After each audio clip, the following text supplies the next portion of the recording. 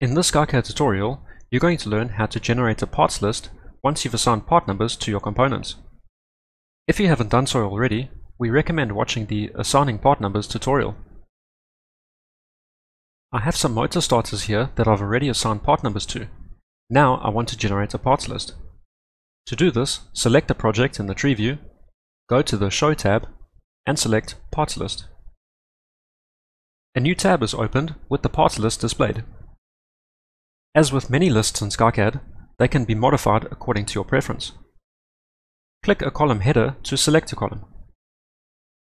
Clicking the left or right arrow buttons will move the column position.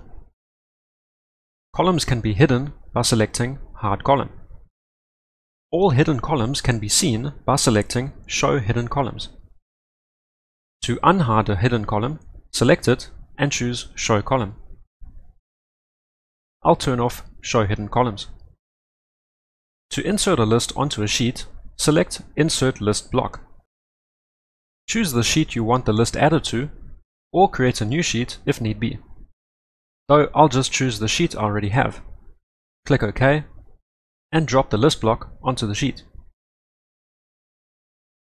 The list block will display whichever columns were displayed here at the time the list block was inserted. The list block can be scaled by selecting it, going to the Drawing tab, selecting Scale, and scrolling the mouse wheel.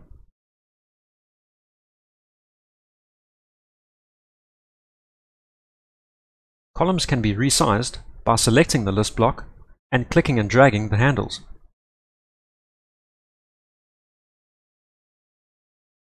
The list block can also be split by going to the Home tab and selecting Split List Block. A list block can be split as many times as you like and across multiple pages. Deleting one of the splits will consolidate the list. All list blocks are dynamic and updated in real time as the project evolves. For example, if I add a new component to the project, the parts list is automatically updated. The principles I've shown you are not only for parts lists, but can be applied to any list of information that looks like a spreadsheet, and can be inserted onto a sheet as a list block.